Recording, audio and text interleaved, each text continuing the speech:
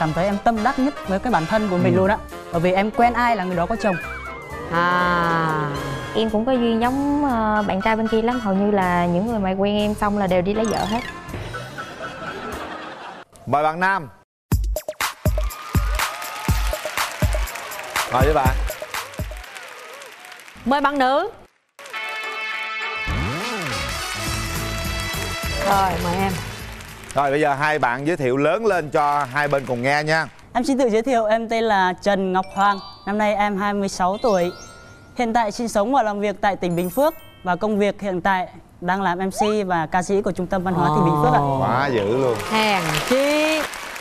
Mc bởi vậy nói giọng rồi hay quá lên xuống rất là truyền cảm. Rồi mời bạn nữ giới thiệu. Em tên là Tố Nguyên.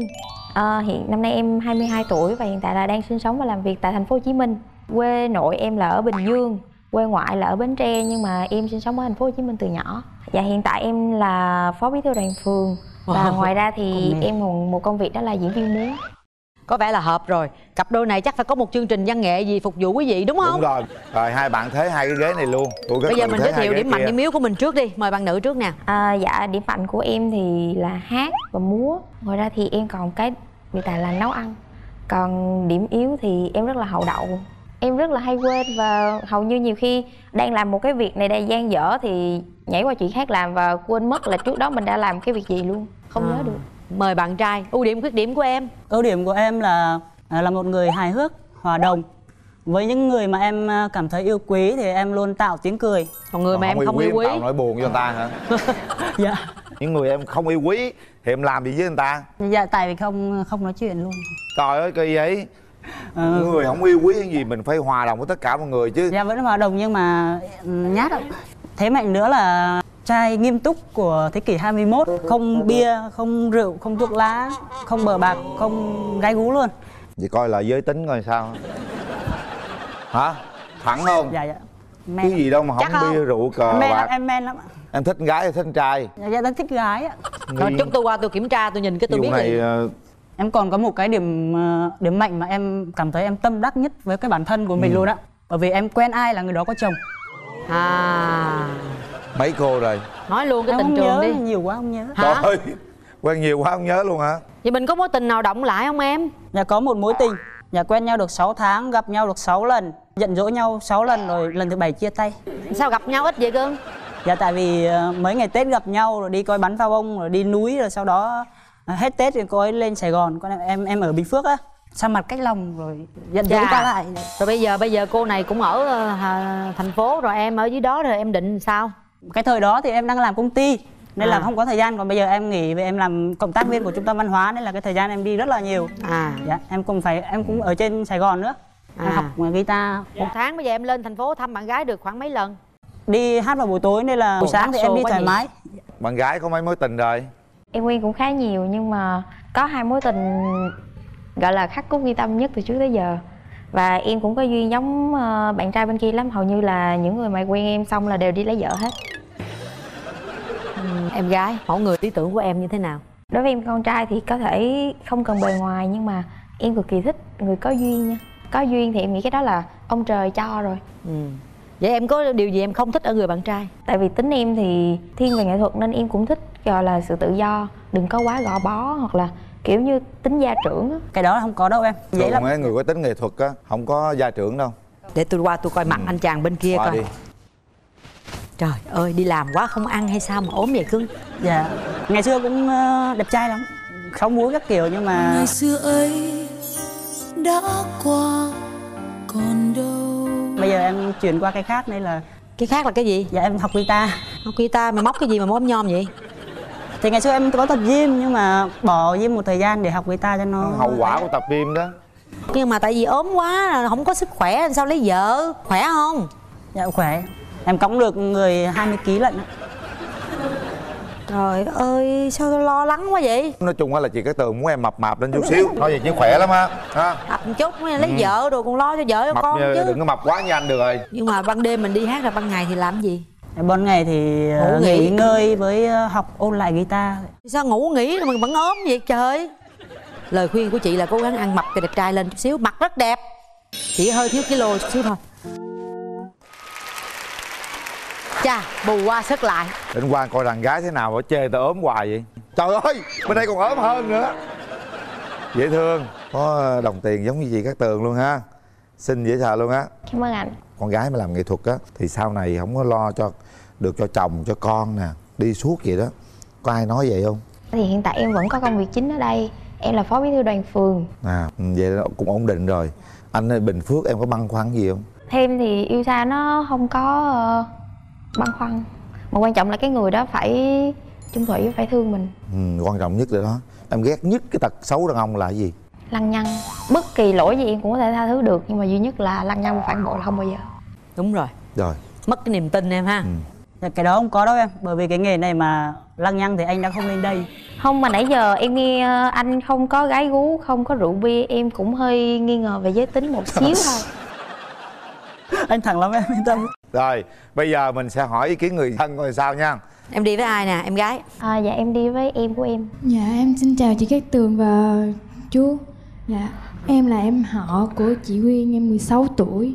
Chị em rất là dễ thương nhưng mà có điều là hơi hậu động một xíu. Em với chị Quyên hay đi đâu á là lúc nào em cũng là người giữ chìa khóa.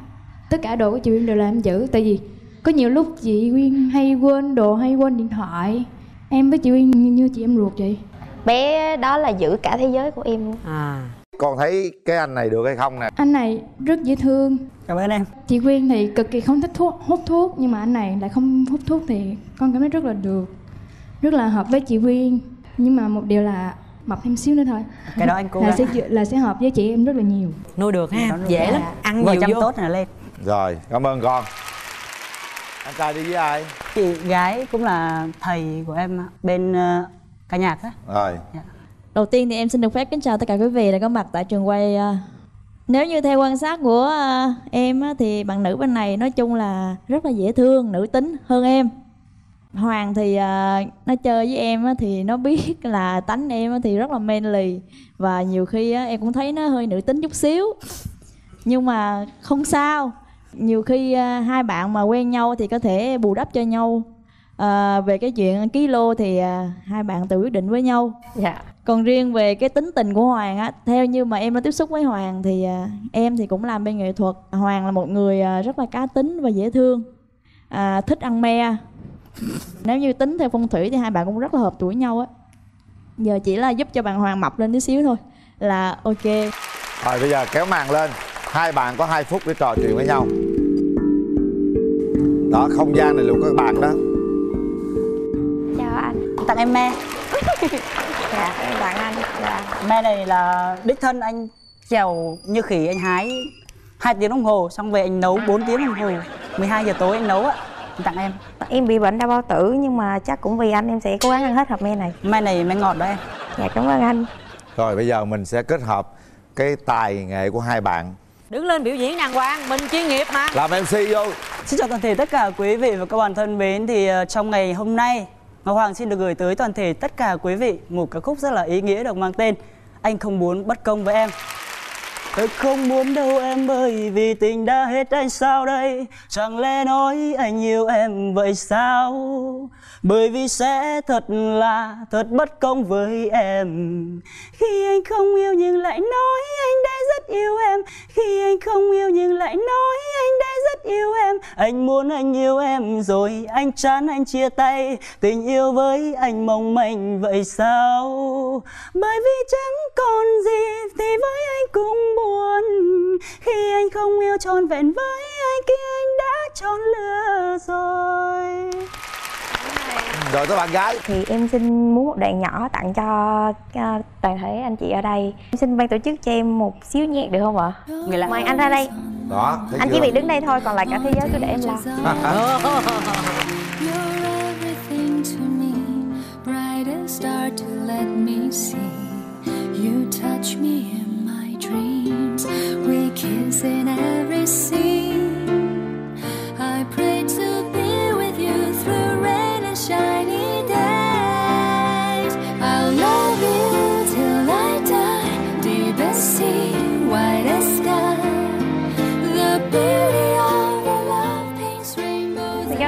trình rất nhiều. Dễ thương quá. Được. Xem thấy anh rung dữ vậy. Bình thường nhát gái lắm. Mc làm nghệ thuật mà thường nói nhát gái em thấy hơi lạ. Ừm, cái tính nó vậy từ nhỏ đến giờ khi mà nói chuyện với bạn gái mà những cái người mà nó kiểu kiểu như là gặp rồi thì nói chuyện thì nó nó lại hướng bữa bữa á còn những cái người mà chưa gặp ừm, hoặc là lần đầu tiên gặp mặt thì cảm thấy run không biết nói gì hết.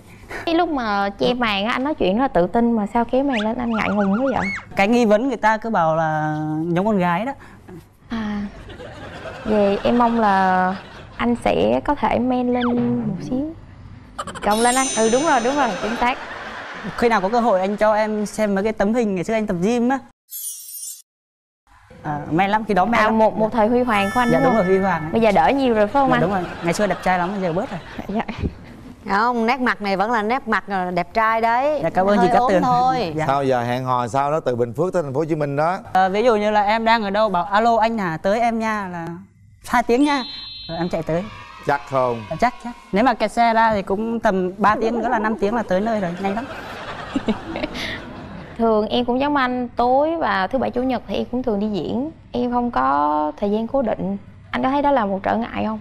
Không bởi vì cùng nghề với nhau thì mình cảm thấy tương đồng là mình có thể ấy được. Em cũng là một người theo nghệ thuật thì anh cũng cảm thấy rất là vui. Vì vậy chúng ta hãy ờ, cứ bấm đi rồi khi đó mọi chuyện để tính sau. Bên này thì em lo cả thế giới nhưng mà khi mà quay xong thì anh anh sẽ lo cả thế giới cho em. Lo bằng cách nào cái bà nào bà dữ quá bà tới bà bắt nạt thì em kêu là chị ơi đừng bắt nạt ờ, cô ấy bắt nạt em đi. Anh ấy rất là có duyên. Em thấy anh căng thẳng quá anh nhìn thẳng mặt em nè. Chết chưa? Thẳng đi sợ gì nhìn thẳng vô. Hít đất nổi không? Hít cho cổ coi 10 cái coi. Dạ ngày xưa hít được 40 cái. Cho coi khỏe không? Chứ cổ đang lo lắng lắm cô nghi lắm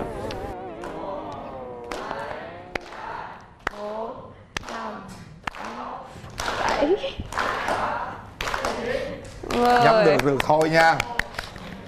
Cố lên anh. 15 16 17 18 19 20 Thôi, được rồi được rồi, được rồi. trời ơi mặt đỏ trơn vậy trời.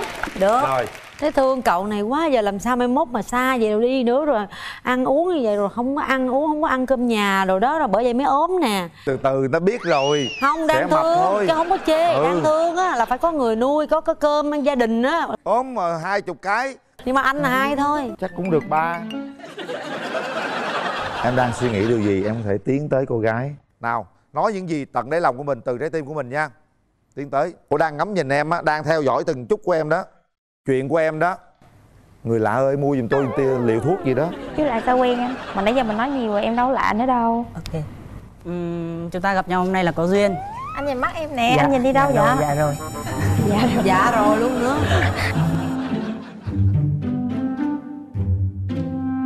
Chúng ta cùng nhau bấm cái nút đó để ờ, cho nó có duyên hơn nữa. Anh có thể thuyết phục em hơn một xíu nữa được không? Nãy em chủ động nắm tay rồi giờ anh chủ động nắm tay em được không anh dám không? Bình tĩnh không run nha. Ok ok. Nắm tay phải bắt tay đâu trời. Làm như đi, đi giao lưu văn nghệ vậy đó. Rồi thôi được rồi về đây đi. Nãy giờ chúng ta cảm nhận về nhau. Chúng ta có thể nói chuyện vui nhưng đã đến lúc chúng ta phải nói chuyện nghiêm túc bằng hai nút bấm. Một. Bấm nút là hẹn hò yêu thương đi đến cuối con đường. Hai ba. Hết, thời gian,